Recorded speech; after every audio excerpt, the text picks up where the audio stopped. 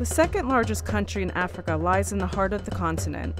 Known as the DRC, the Democratic Republic of the Congo suffered civil war between 1997 and 2003.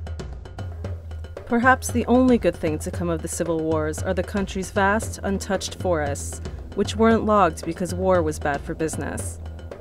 But what will happen to this vital resource now that stability is returning to the DRC? And how can local communities take ownership of this, their home, and secure a better future?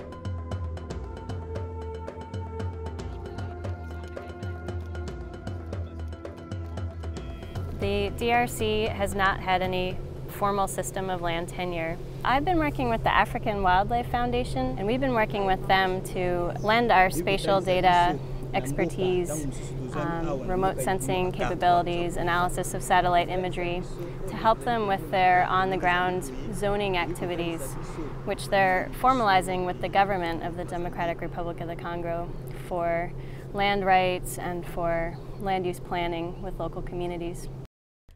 Spatial data expertise, remote sensing capabilities. What do these words mean exactly? For over 10 years, this satellite has been orbiting the Earth. It's called Landsat 7, and with every loop it takes around our planet, it collects information about the Earth's surface, which people like Janet can then interpret. So we can feed information derived from Landsat imagery into a variety of models for land use planning in this landscape. And one thing, one way we've been using it is to identify the areas of highest conservation priority.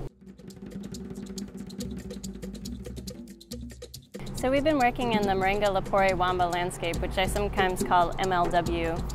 Um, it's in northern DRC. It's a bit about the size of South Carolina. Um, and it's full of tropical moist forests. So using Landsat imagery, we were able to zoom in on this particular forested area connecting two protected areas in the east central part of MLW landscape. And it's an important corridor for the migration of bonobos between the protected areas as well as other terrestrial species.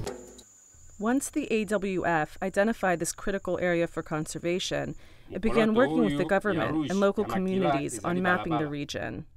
The mapping process has a dual benefit of preserving biodiversity and helping local villagers to secure their own land use rights. oui karte ezali likanisi moko ya malamu.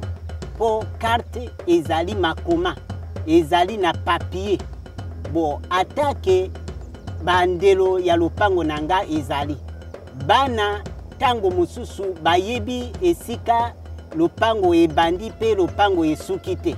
Me lokola sikawa grâce na zonage ntango babimisi par exemple karte ya lopango oyo mwana akozala na fasilité monene mpo na koyeba esika lopango ebandi mpe lopango esuki.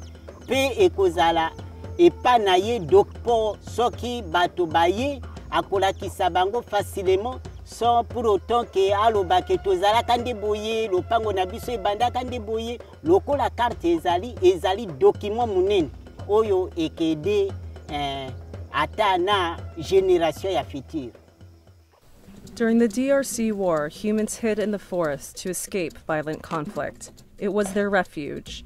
And still now, the forest provides them with food, air, and shelter.